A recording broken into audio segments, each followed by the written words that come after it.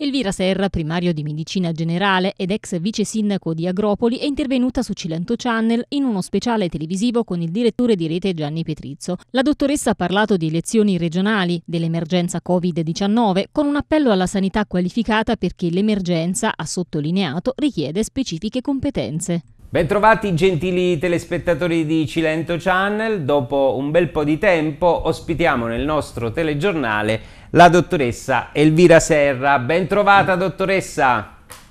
Buonasera Gianni, bentrovata anche a te. Ecco, allora, eh, ci tengo soprattutto Elvira, ci diamo del tu, i nostri telespettatori lo sanno perché ci conosciamo da un bel po' di tempo.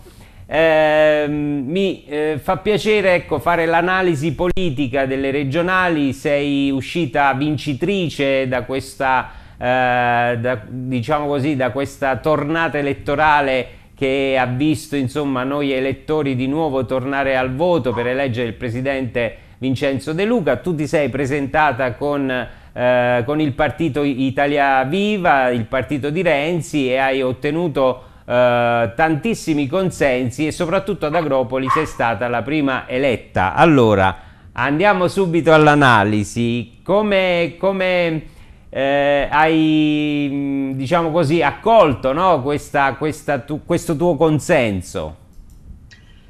Allora, innanzitutto mi fa veramente tornare, piacere tornare al nostro pubblico che è quello di Cilento Channel di cui io mi sento ehm, parte piena, sia per quanto riguarda la collaborazione delle mie trasmissioni scientifiche, poi l'amicizia con te che mh, è di vecchissima data, eh, posso dire che ho visto i tuoi primi passi Vero. a Teleagropoli quando imparavi il mestiere di giornalista cosa che ti è riuscita molto bene e allora per me è un vanto poi eh, sentirmi con te e, e, immaginare che comunque si è realizzato qualcosa che era nel, nel, cuore tuo soprattutto ma anche nostro.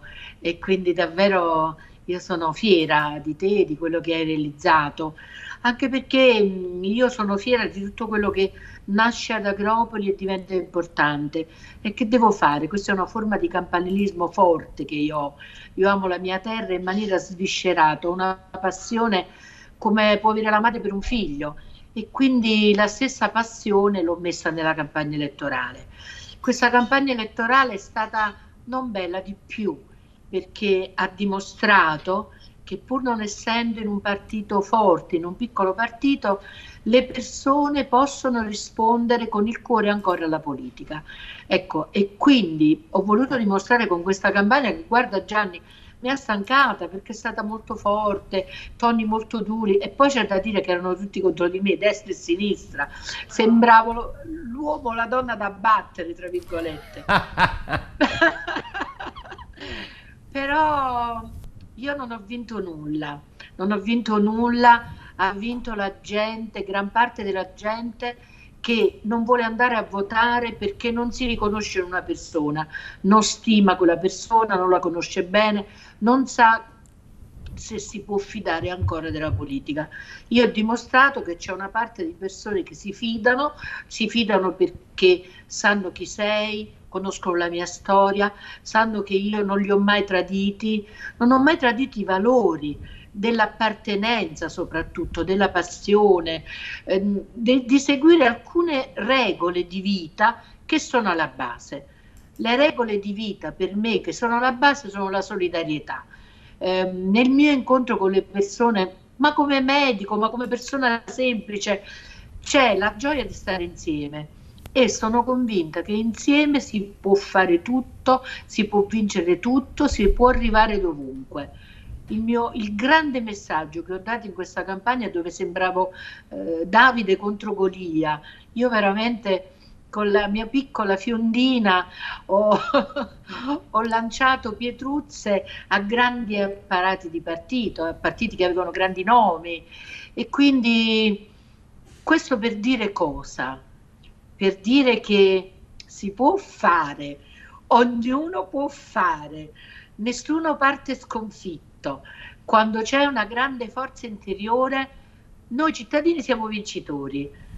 E allora io ho visto che non ero da sola, che c'era tanta gente che mi scriveva anche nei momenti in cui io mi sentivo un po' giù, perché poi tu sai che comunque ho affrontato anche tante vicende familiari e quindi certe volte ci vuole un coraggio a fare una scelta, ad uscire fuori. Però poi lo sai come sono io. Sono una piccola donna coraggiosa, una grande donna perché sono anche bella e quindi riesco a trovare una forza, ma come facciamo tutti? Quando sembra che ci sono grandi difficoltà e che vediamo tutto scuro davanti a noi, cacciamo una forza dentro come quando difendiamo i figli. Tu lo sai perché sei papà. Quando accade qualcosa alla tua terra come un figlio, come quando le persone che ami, hai un'energia e ti viene un'energia che è tutto, è universale.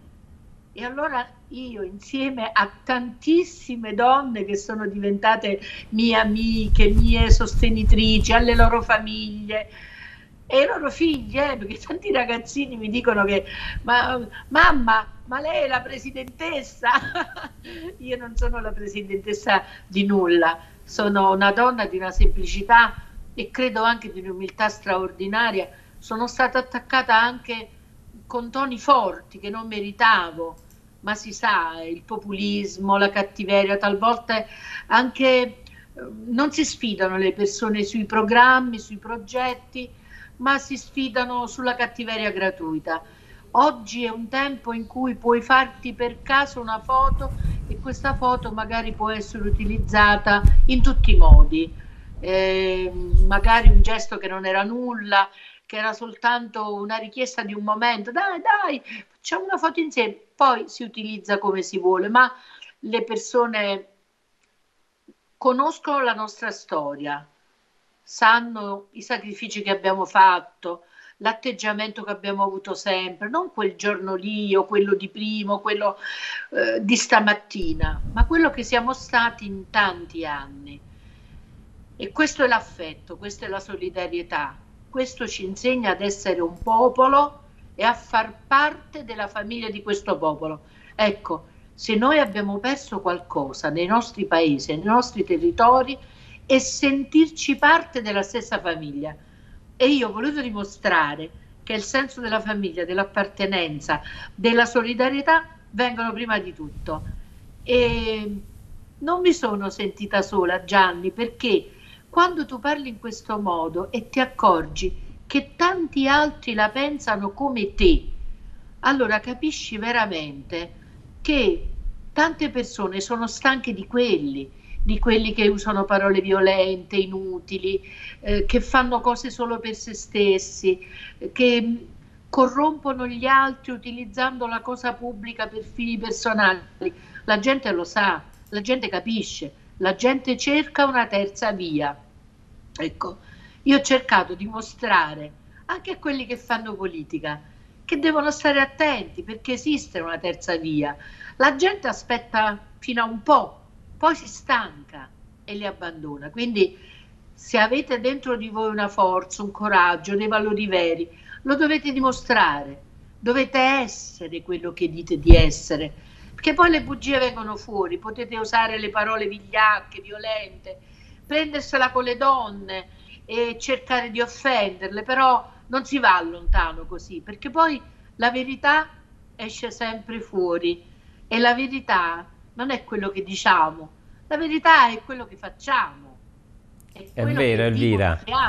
Sì, eh, ma soprattutto hai portato grande entusiasmo e hai trascinato tantissimi giovani, cosa un po' difficile, soprattutto in un momento que- come questo, insomma, Covid permettendo, e soprattutto giovani che sono un po' distanti dalla politica. Questo davvero, ecco, ti ha eh, sicuramente dato maggiore forza no? per, per portare avanti una campagna elettorale complessa. Allora, non tutti lo sanno perché magari io parlo poco di me, però io sono stata una persona che ha tenuto congressi in tutto il mondo.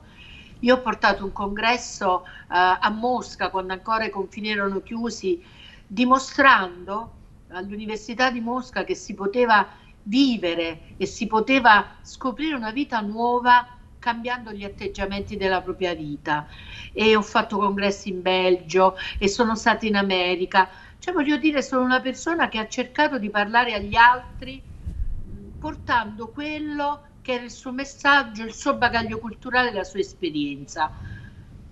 E i giovani sono così, hanno voglia di capire, di imparare, non hanno voglia di bugie. Loro soprattutto ragionano con il cuore.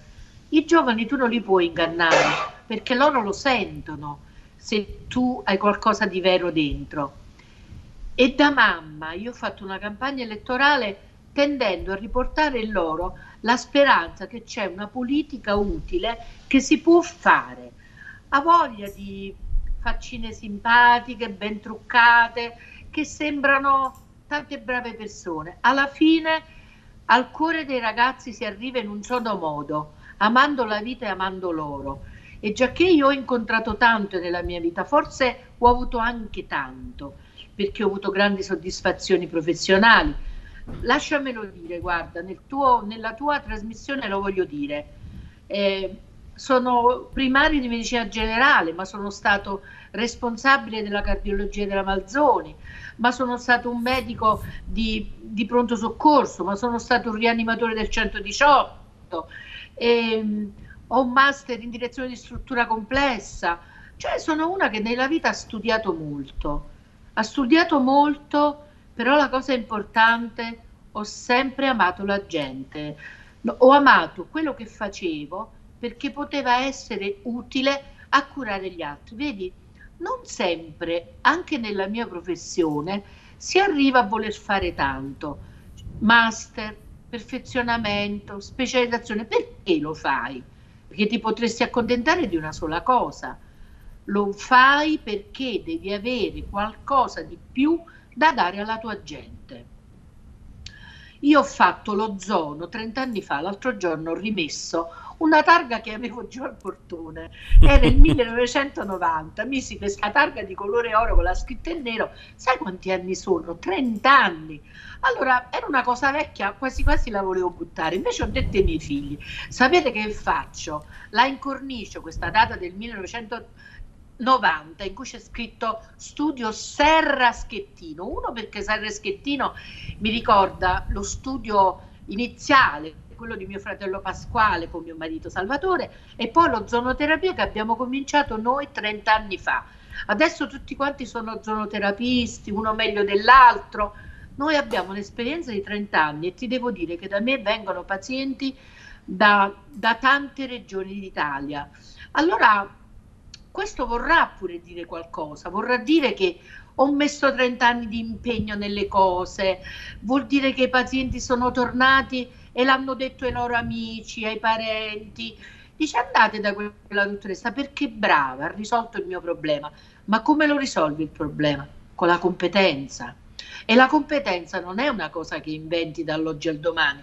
La competenza è qualcosa che costruisci quando hai voglia di sapere e quindi quando non perdi mai il gusto per la vita, per la conoscenza ed è questo che i nostri ragazzi devono fare. Non devono perdere il gusto della vita, imparare sempre, conoscere, vedere il mondo con gli occhi di uno scopritore continuo, di un conoscitore continuo. Diceva il poeta del fanciullino che è in noi. Beh, io un'età ce l'ho, però non ho mai dimenticato di essere quella fanciullina che era chiusa in casa, che non poteva studiare, che invece si nutriva di libri tutti i giorni. Io ho scoperto la libertà di conoscere e non c'è niente più bello di questo.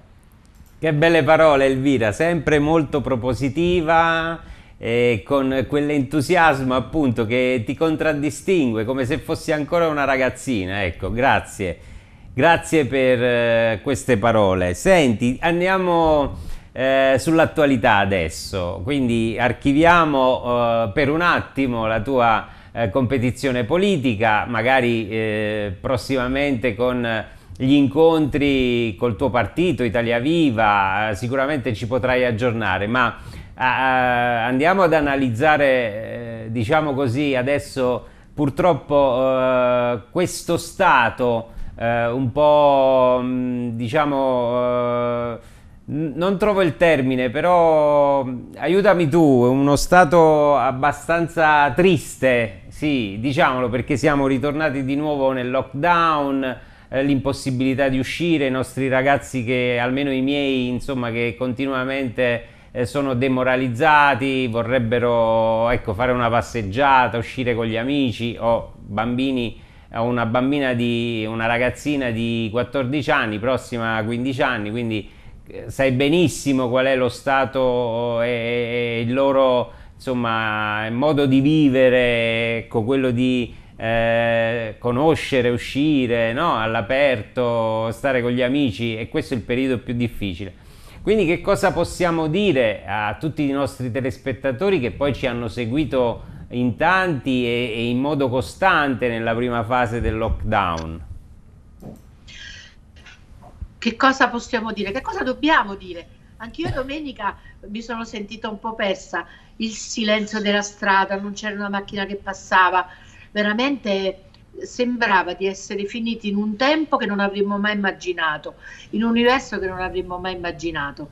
Però eh, noi dobbiamo ricordarci che questo virus aspetta soltanto un passeggero, perché lui è un parassita, quindi aspetta che uno di noi passa per strada, raccolga il droplet di una persona che è passata magari un minuto prima, perché tu sai che il virus comunque rimane sospeso in aria per un po', e allora che cosa fa? Aspetta il suo autobus per passare da un individuo all'altro. Allora come possiamo fare? Noi dobbiamo spezzare questa catena, non gli dobbiamo dare nessun passaggio, per cui interrompiamo la catena, il contagio si blocca se noi stiamo lontani.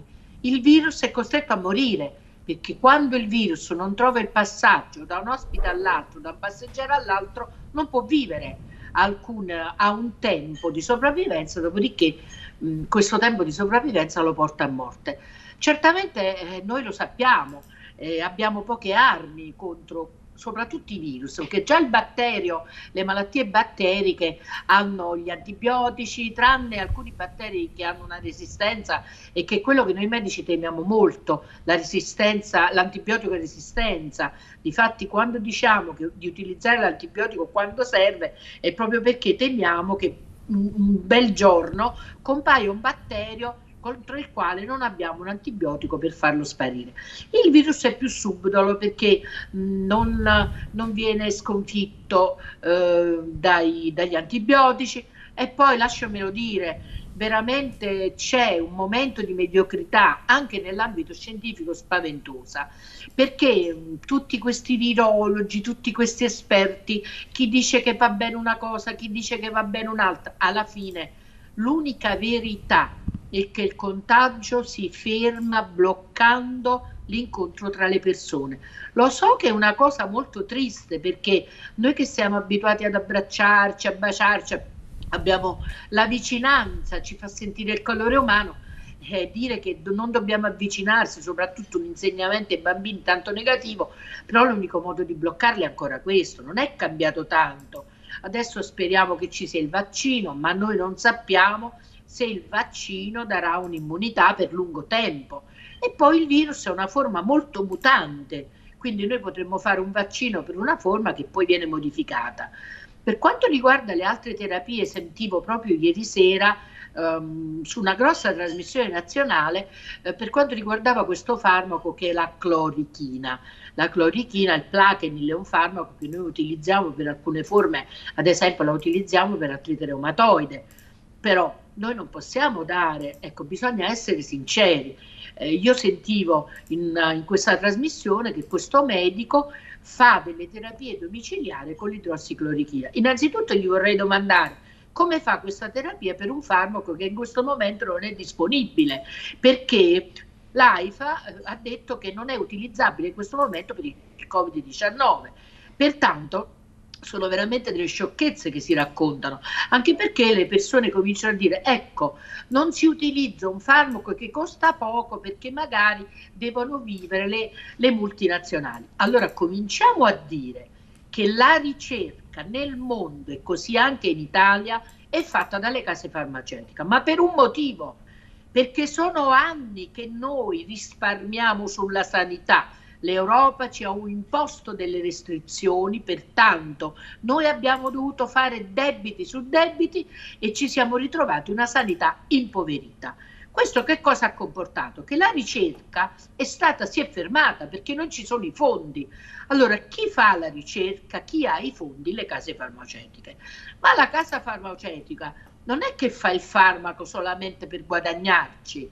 Certo, è un'azienda, è chiaro che ci guadagna, ma indubbiamente su questo guadagno salva milioni e milioni di persone. Quindi è un do ut des, è chiaro. Se io do l'aspirina e non viene l'infarto, è chiaro che ho salvato miliardi di persone al mondo che non gli è venuto l'infarto. Allora io non mi accanisco contro la casa farmaceutica, anzi dico grazie che voi state mettendo dei fondi per trovare questa cosa che può curare tutti. Ma un farmaco deve avere una valenza per tutti. Che cosa vuol dire? Che se io do un farmaco e lo do a milioni e milioni di persone, devo essere certa che queste persone non saranno danneggiate. Ebbene, l'idrossiclorochina non è un farmaco che ha provato in maniera sperimentale di non danneggiare le persone. Perché noi quando è che possiamo dare un farmaco su larga scala? Quando abbiamo dimostrato che non fa male, che ottiene risultati e non fa male. Allora, questo farmaco, al momento, l'AIFA, che è la società italiana di studio del farmaco non ha avuto né le dimostrazioni che sia così efficace sul Covid-19 né tantomeno che non dia rischi perché è tossico ad esempio sul cuore, è tossico ad esempio sul fegato. Um, pertanto sì, va bene nelle artriti reumatoidi e nel lupus eritematoso, però lì sono, sono pazienti limitati che accettano la complicanza che possono avere su altri organi. Ma farli invece come terapia su larga scala, non essendo stata riconosciuta la capacità di far stare bene i pazienti, ma voi veramente pensate che se noi avessimo un farmaco che costa poco e guarisce i pazienti, terremmo le terapie intensive piene come sono?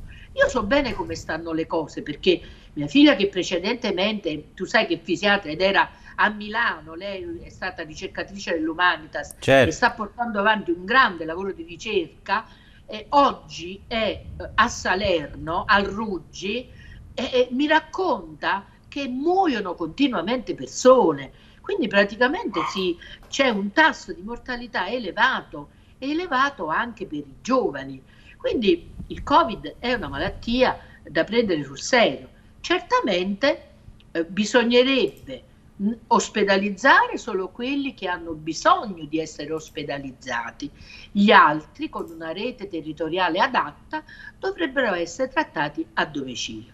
Però lasciami dire questa cosa perché eh, deve parlare del territorio e di sanità chi è competente del territorio e che è competente anche di sanità, perché molto spesso parla di sanità chi eh, ha fatto solo il generale ma sono magari anni e anni che non cura un paziente, che del territorio non sa nulla.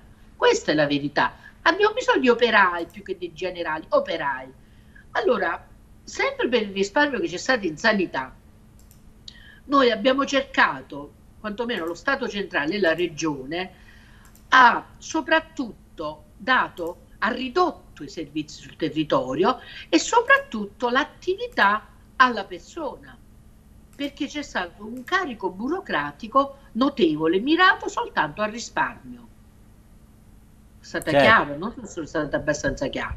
È chiaro che questo ha ridotto le possibilità del medico di medicina generale di coprire il territorio, di fare più visite ai pazienti, ma dovrebbe avere un carico burocratico minore. È stata chiara? Quindi, o l'uno o l'altro quindi o si fa fare meno i ragionieri, quindi più le visite ai pazienti, perché eh, noi ci siamo trovati, ma guarda un po', ma giusto perché stiamo parlando tra amici, no? Certo. Ma ti pare possibile che noi siamo entrati in una pandemia di questo tipo senza avere delle scorte che era obbligatorio avere? C'è i medici medicina generale che ne sono morti tanti, sono stati mandati alla guerra senza le armi. Ma tu pensi che fosse una cosa normale non avere i mezzi? che uno Stato nazionale non avesse le scorte ma noi dovremmo averle sempre, i guanti, le mascherine, dovrebbe essere una scorta continua in sanità. Invece non c'erano, perché per un momento politico è sembrato che noi dovessimo per forza risparmiare su tutto. Ecco, l'insegnamento che viene fuori è che basta risparmiare in sanità. Eh, di questo è stata colpevole anche l'Europa, consentimi, ma non l'Europa in quanto tale, questa mentalità capitalistica sfrenata per cui il denaro, il risparmio, l'economia viene prima della vita. Allora la natura ci ha insegnato una bella cosa, ci ha dato una bella bastonata. Guardate che tutti i soldi del mondo rispetto alla salute non vi possono servire. E quindi questo è un insegnamento di cui dobbiamo fare tesoro. Io non lo so se sono stata di palo in frasca, però spero che alcune mie osservazioni personali siano utili perché noi dobbiamo pure parlarci, dirci dei pareri, raccontarci delle cose che ci facciano capire meglio tra di noi chi siamo, come la pensiamo e anche dove abbiamo sbagliato, come comunità, eh, non lo dico come singola persona. Assolutamente sì. Il mh, diciamo, eh, discorso adesso è capire come possiamo andare avanti eh, a livello economico, Elvira tu che cosa pensi in merito a questo? Insomma, lo Stato sicuramente dovrà supportare un po' tutte quelle attività che da qui a poco soffriranno, hanno già sofferto prima dell'estate, si sono leggermente ripresi per così dire in estate, ma adesso ci risiamo di nuovo, eh, di nuovo nel baratro e questa secondo me è, è un qualcosa che preoccuperà nel prossimo futuro più del Covid. Io sono molto spaventata dalla situazione che può venirsi a creare e sono irritata, molto, molto irritata per aver utilizzato la parola ristoro. La parola ristoro mi sembra francamente una presa in giro, perché ristoro vuol dire quando tu dai, ti pigli un caffè perché hai mangiato, ecco ti do un piccolo ristoro, ti pigli il caffè perché hai mangiato. Qui c'è il problema veramente di mettere il piatto a tavola. Altro che ristoro, qua ci vogliono le indennità, questo è il problema, ci vogliono, ehm, ci vuole la sopravvivenza delle famiglie e questa è una cosa che si può fare, cambia- che si deve fare com- cambiando totalmente tattica, perché io, io ho molta paura di questo momento di fragilità economica, perché quando c'è un momento di fragilità economica e a questo si mette anche una fragilità politica, eh, si creano delle, delle pentole che bollono, delle pentole che bollono. E dobbiamo fare grande attenzione perché si comincia a sentire la difficoltà in mezzo alla strada. Guarda, anche noi, eh, io ho uno studio medico, un centro specialistico, ti posso dire che anche noi sentiamo la riduzione del lavoro, perché è chiaro che gira tutto meno e quindi i servizi e quindi tutto quello che c'è attorno, eh, a questo punto mi pare che la parola ristoro veramente sia ridicola, se non irritante. Scusami, ma io lo, lo, ogni volta che la sento mi arrabbio. Assolutamente sì. Bene, se vuoi aggiungere qualcosina prima di salutare i nostri telespettatori, magari qualche notizia sulla tua prossima attività, sulle tue prossime iniziative. Allora, le mie prossime iniziative certamente non smetto di occuparmi delle tante persone che hanno creduto in me.